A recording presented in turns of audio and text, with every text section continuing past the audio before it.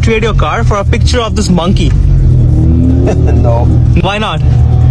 I don't like the monkey. Do you know anything about the monkey though? The monkey's scary looking. So that's an NFT. What is an NFP? NFT. What is that? It's non-fungible token. I'm not a fan of Bitcoin.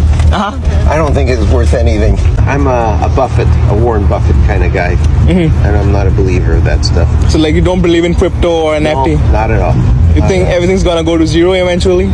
Hundred percent. Yeah? Not 99, but 100 percent. Okay, one more question. If you had to make a million dollars this year, what would you do? I don't have to do anything. I've got many million dollars already.